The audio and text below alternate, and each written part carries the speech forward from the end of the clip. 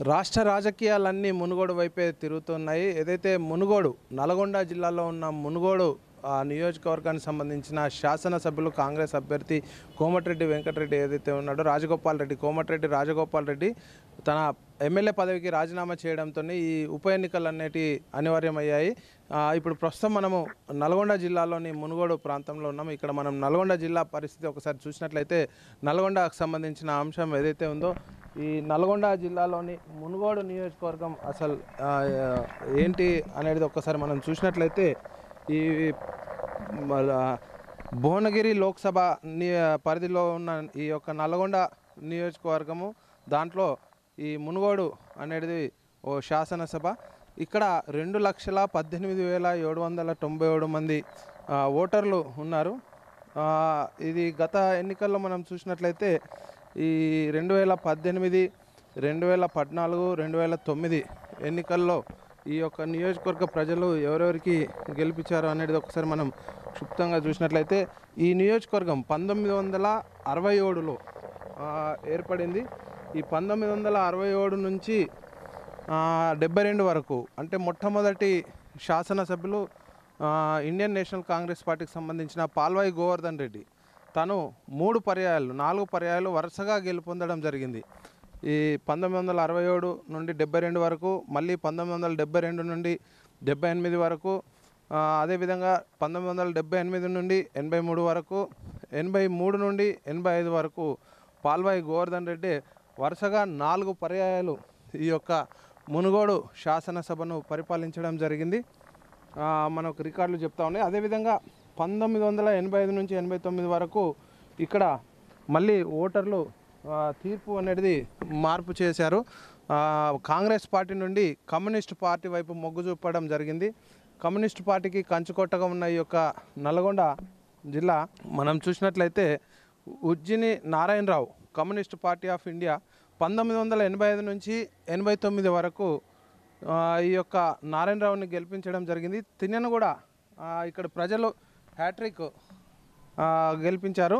పంతొమ్మిది వందల ఎనభై తొమ్మిది నుంచి తొంభై నాలుగు వరకు అదేవిధంగా పంతొమ్మిది వందల తొంభై నాలుగు నుంచి తొంభై తొమ్మిది వరకు ఈ కమ్యూనిస్ట్ పార్టీకి సంబంధించిన నారాయణరావుని గెలిపించడం జరిగింది వరుసగా మూడు పర్యాయాలు. ఇక్కడ మళ్ళీ పార్టీ ప్రజలు మళ్ళీ కాంగ్రెస్ పార్టీ వైపు మొగ్గు చూపారు ఇక్కడి ప్రజలు. ఏదైతే గతంలో పరిపాలించిన పాల్వాయి గోవర్ధన్ రెడ్డిని మళ్ళీ తిరిగి పంతొమ్మిది వందల తొంభై తొమ్మిది నుంచి రెండు వేల నాలుగు వరకు తనకు అవకాశం ఇవ్వడం జరిగింది. ఆ తర్వాత కమ్యూనిస్ట్ పార్టీ నుండి మరోసారి వెంకటరెడ్డి పల్ల వెంకటరెడ్డి రెండు వేల నాలుగు నుండి రెండు వేల తొమ్మిది వరకు పల్ల వెంకటరెడ్డి కమ్యూనిస్ట్ పార్టీ. అదేవిధంగా రెండు వేల తొమ్మిది నుంచి రెండు వేల పద్నాలుగు వరకు ఉజ్జిని యాదగిరిరావు కమ్యూనిస్ట్ పార్టీ. అంటే ఇక్కడ చూసినట్లయితే నియోజకవర్గము ప్రారంభమైనప్పటి నుండి పంతొమ్మిది వందల అరవై ఏడు నుండి వరతే ఈ రెండు వేల పద్నాలుగు తెలంగాణ ఏర్పాటు అయ్యేంత వరకు ఇక్కడ ప్రజలు అటు ఫస్ట్ కాంగ్రెస్ పార్టీ తర్వాత కమ్యూనిస్ట్ పార్టీకి పట్టం కట్టడం జరిగింది. తెలంగాణ రాష్ట్రం ఆవిర్భవించిన తర్వాత రెండు వేల పద్నాలుగు రెండు వేల పద్దెనిమిది వరకు తొలి తెలంగాణ శాసనసభ్యుడిగా కుసుకుంట్ల ప్రభాకర్ రెడ్డి టీఆర్ఎస్ పార్టీ అభ్యర్థిగా తనని గెలిపించడం జరిగింది ఇక్కడ నియోజకవర్గ ప్రజలు. ఈ రెండు వేల పద్దెనిమిది ఏదైతే ఉన్నదో రెండు వేల పద్దెనిమిదిలో వచ్చిన ఎన్నికల్లో మళ్ళీ ప్రజలు మార్పు చేశారు. ఏదైతే కోమటిరెడ్డి రాజగోపాల్ రెడ్డి ఉన్నారో తాను ఇండియన్ కాంగ్రెస్ పార్టీ సంబంధించిన అభ్యర్థి తనను గెలిపించడం జరిగింది. రెండు వేల పద్దెనిమిదిలో గెలిచిన రాజగోపాల్ రెడ్డి కాంగ్రెస్ పార్టీ నుంచి గెలవడం జరిగింది. రెండు వేల పద్దెనిమిది ఒక్కసారి ఓటింగ్ పర్సంటేజ్ ఏ రకంగా ఉందో చూసినట్లయితే మనకు కాంగ్రెస్ పార్టీ అభ్యర్థికి తొంభై తొమ్మిది వేల రెండు వందల ముప్పై తొమ్మిది ఓట్లు రాగా fifty point five one percentage ఓట్లన్నిటి రావడం జరిగింది. టీఆర్ఎస్ పార్టీ కుసుకుంట్ల ప్రభాకర్ రెడ్డికి అరవై ఒక్క వెయ్యి ఆరు వందల ఎనభై ఏడు ఓట్లు రావడం జరిగింది. అంటే ముప్పై పాయింట్ పదమూడు శాతం ఓట్లు తను తీసుకున్నారు. బీజేపీ అభ్యర్థి గంగిడి మనోహర్ రెడ్డి పన్నెండు వేల ఏడు వందల డెబ్బై ఐదు ఓట్లను తాను తీసుకోవడం జరిగింది. కేవలం ఎనిమిది శాతమే. ఇండిపెండెంట్ అభ్యర్థి మంగ వెంకటేష్ కుర్మ మూడు వేల ఐదు వందల అరవై తొమ్మిది ఓట్లు రావడం జరిగింది. ఒక పాయింట్ డెబ్బై తొమ్మిది శాతం ఓట్లు. ఇక ఆ నోట అంటే ఎవరు అవసరం లేదు మాకు అని చెప్పేసి మూడు వేల ఎనభై ఆరు ఓట్లు వేశారు ఇక్కడ జనాలు. మొత్తం మెజారిటీ చూసినట్లయితే రెండు వేల పద్దెనిమిదిలో ఇరవై మూడు వేల ఐదు వందల యాభై రెండు ఓట్ల మెజారిటీతోని ఈ యొక్క కోమటిరెడ్డి రాజగోపాల్ రెడ్డి కాంగ్రెస్ అభ్యర్థిగా గెలుపొందారు. తీరా తాను పార్టీ ఫిరాయించారు. ఈ ఏదైతే తాను శాసనసభ అభ్యర్థిగా రాజీనామా చేయడం వల్ల ఈ యొక్క ఉప ఎన్నిక మునుగోడుకు ఉప ఎన్నిక అనేది అనివార్యమైంది. ఇప్పుడు తాను కాంగ్రెస్ పార్టీకి రాజీనామా చేసేసి బీజేపీలో చేరడం జరిగింది. బీజేపీ తీర్థం పుచ్చుకున్న రాజగోపాల్ రెడ్డి మరి ఇప్పుడు కాంగ్రెస్ మునుగోడు బీజేపీ అభ్యర్థిగా బరిలో ఉన్నారు. అటు కాంగ్రెస్ అభ్యర్థిగా ఏదైతే కా కాంగ్రెస్ పాల్వాయి గోవర్ధన్ రెడ్డి ఉన్నారో వాళ్ళకు సం- సంబంధించిన వరసరాలు వారసురాలు ఇప్పుడు కాంగ్రెస్ అభ్యర్థిగా బరిలో దించారు. టీఆర్ఎస్ పార్టీ అభ్యర్థి ఇంకా ఖరారు చేయలేదు. దాదాపుగా ప్రభాకర్ రెడ్డి వచ్చే అవకాశాలు ఉన్నాయని ఇక్కడ జనాలు కూడా ఎక్స్పెక్టేషన్ చేస్తూ ఉన్నారు. ఎందుకంటే టీఆర్ఎస్ పార్టీ హాయంలోనే అభివృద్ధి జరుగుతూ ఉంది సంక్షేమ పథకాలు అమలవుతూ ఉన్నాయని చెప్పేసి ఇక్కడ ప్రజలు అభిప్రాయం వ్యక్తం చేస్తూ ఉన్నారు. ఏది ఏమైనప్పటికీ ఈ మునుగోడు ఎన్నికల్లో మనం ఒకసారి ఎన్ని మండలాలు ఉన్నాయి ఆ పరిధి ఎక్కడెక్కడ ఉంది అనేది వాటిని కూడా ఒకసారి మనం పరిశీలించినట్లయితే ఈ మునుగోడు మండల మునుగోడు చెందూరు మర్రిగుడ్డ ఈ మూడు మండలాలు నల్గొండ జిల్లాకు సంబంధించినవి వస్తాయి. సంస్థాన్ నారాయణపూర్ యాదాద్రి భువనగిరి జిల్లా చోటుప్పల్ యాదాద్రి భువనగిరి జిల్లా. అదేవిధంగా నాంపల్లి నల్గొండ జిల్లా. ఈ నల్గొండ జిల్లాలో నాలుగు మండలాలు. మునుగోడు చెందూరు మర్రిగూడ నాంపల్లి. యాదాద్రి భువనగిరి జిల్లాలో సంస్థాన్ నారాయణపూర్ చోటుప్పల్.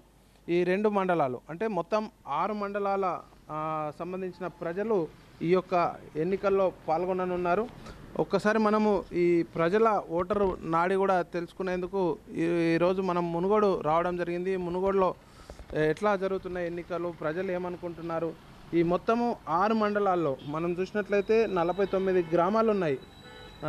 మొత్తం అంటే అసెంబ్లీ కాన్స్టిట్యున్సీ బూతుల వారిగా పోలింగ్ బూతుల వారిగా మనం చూసినట్లయితే అల్జీపురం అల్జిపురం మంజిర ఎర్రగండ్ల పిల్లై అల్లందేవి చెరువు అల్లాపూర్ ఆ, అనంగడిపేట అంకిరెడ్డిగూడెం అంటంపేట అర్రెగూడెము బండ తిమ్మాపురం బండ తిమ్మాపూరు బంగారుగడ్డ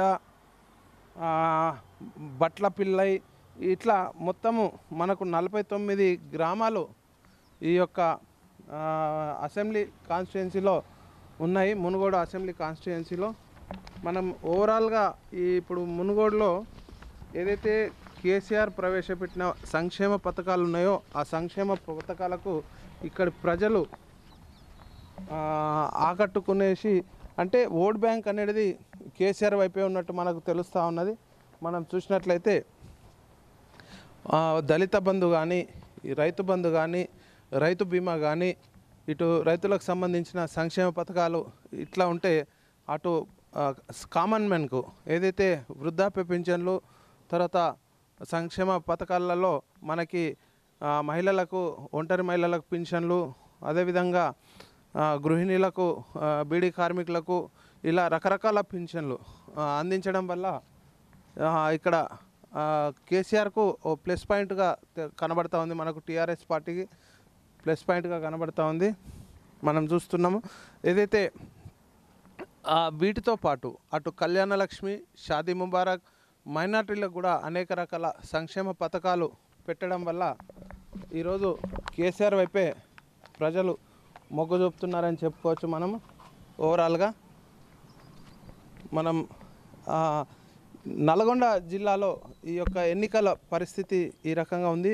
ఈ మునుగోడు శాసనసభకు సంబంధించిన ఎన్నికలు హోరాహోరి అప్పుడే అటు బీజేపీ పార్టీ ఇటు కాంగ్రెస్ పార్టీ సంబంధించిన అభ్యర్థులు ఖరారయ్యారు కాబట్టి మునుగోడులో ప్రచారం మొదలుపెట్టారు. ఇటు టీఆర్ఎస్ పార్టీకి సంబంధించిన అభ్యర్థి ఖరారు కాకున్నప్పటికీ కూడా ఆ ప్రచారం అనేది గ్రౌండ్ లెవెల్లో నడుస్తూ ఉంది. జగదీశ్వర్ రెడ్డి ఇక్కడ నల్గొండ జిల్లా మంత్రిగా తాను టీఆర్ఎస్ క్యాడర్ని ఎప్పటికప్పుడు వ్యూహరచన చేస్తూ వాళ్ళతో సమీక్షా సమావేశాలు నిర్వహిస్తూ ముందుకు వెళ్తా ఉన్నారు.